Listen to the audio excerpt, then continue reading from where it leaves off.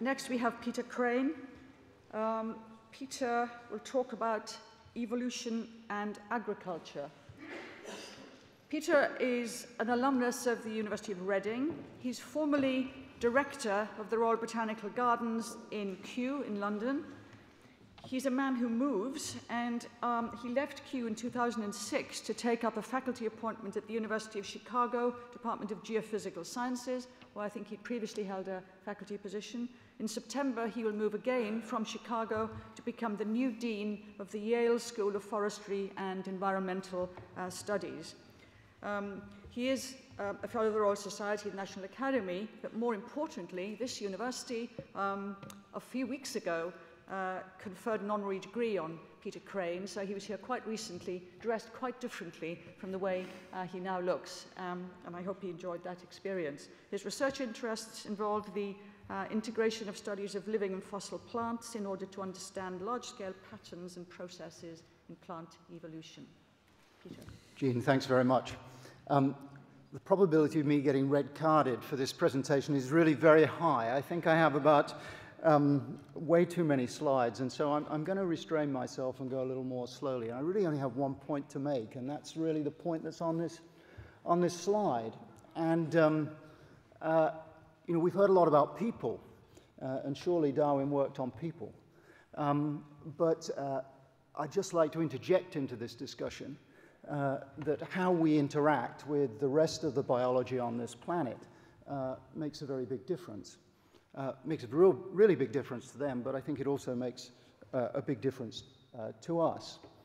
And the world is changing very rapidly before our very eyes.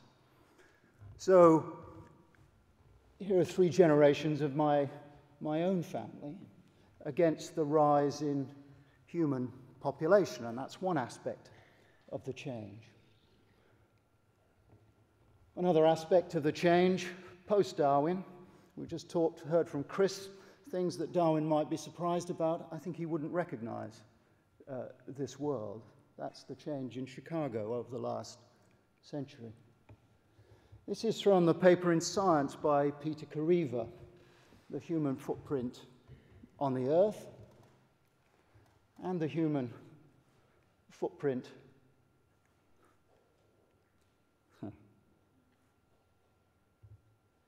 in a sense, in the oceans.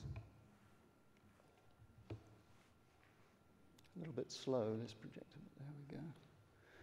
The next one, as you've already seen, is Rachel Carson, and um, uh, I mean, obviously, Rachel Carson made very important points about uh, the consequences of using those particular synthetic pesticides, but she also made the point that in a very short time they became very widely distributed around the planet. So the, the central point, I think, is that there's really nowhere uh, on this planet that's not been impacted by human activity. Try again. Uh, we've changed in uh, really unbelievable ways uh, not only our climate, but biogeochemical cycles. And um, we've moved plants and animals around in ways that uh, uh, were already happening, by the way, in Darwin's time, but at a scale now that is almost so vast to comprehend. Those of you that have been walking around Cambridge this week uh, have undoubtedly seen uh, this leaf miner on the um, uh, horse chestnuts uh, growing along the, the backs. Uh, this particular leaf miner only appeared in the UK uh, in this century, in the 21st century. It's spreading rapidly.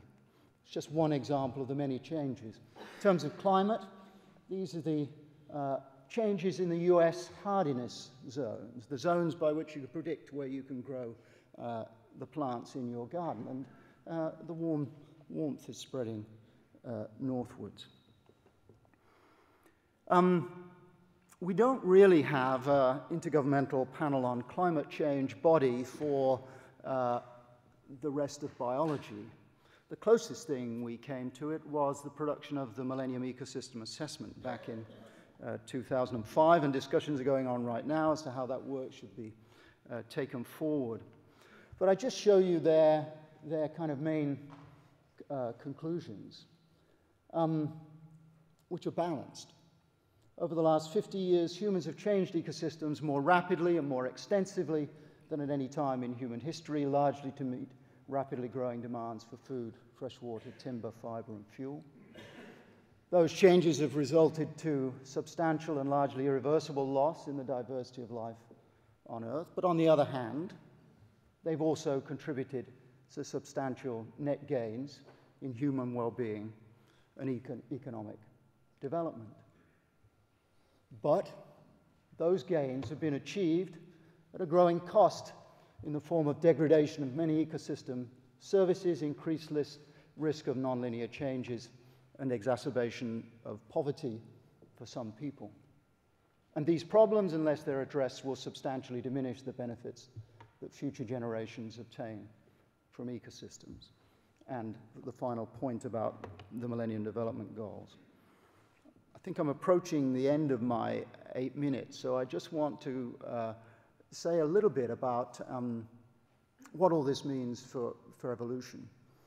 We can see evolution happening in front of our eyes, and with the technology and the techniques now available that, that the other panelists have uh, described, we don't have to wait until that change uh, is so obvious and so visible that we can do something about it. We can use that technology to see these things uh, coming.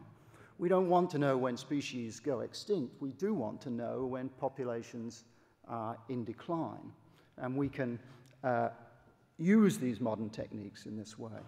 The changes that we've wrought, to come back to Harold Varmus's points at the beginning of his talk, we know it's all about variation and it's about selection, and the changes that we've wrought have dramatically changed the nature of selection to which all of the organisms on the planet are subject to. Uh, and with the advent of these new methods, we can uh, follow them. Just to give you a, a, one example, uh, the flora of the British Isles contains roughly 3,000 species. Half of those are native. Um, the other half have been introduced at various times over the course of human history. Those introduced species now hybridize with each other, and they hybridize with the uh, native species. They're, they're changing, those populations are changing.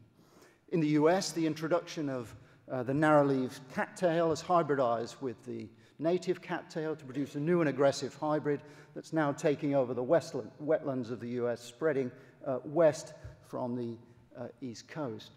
In the UK, Rhododendron ponticum, which has become naturalized, uh, in this country has introgressed and picked up some genes from Rhododendron catawbiense, not a species that's escaped from cultivation, but a species that's in cultivation. And the evidence indicates that the genes it's picked up has given it increased cold tolerance, and we now see Rhododendron ponticum spreading across the west of England, in uh, Western Ireland, northwest Scotland, uh, and so on. So for me, uh, a very important part of uh, evolutionary biology uh, in the future is figuring out how to uh, manage our environment. Ed Wilson says that um, uh, these systems are too complicated to manage uh, like a garden. Um, I have a huge amount of sympathy with that statement. Uh, but it's also true that we don't have any choice. Um, the discussions, the decisions that we make are going to be crucially important for managing our environment. They'll need to be informed by our understanding of evolutionary biology. And if you come back to that last page uh, of the origin where Darwin speaks about the, the tangled bank and the beauty and the intricacy of those uh, interactions, and then he finishes with this phrase, there is grandeur in this view of life. And I think it's up to us to ensure or to decide whether there will continue to be grandeur in the life that we leave to future generations. Thank you very much.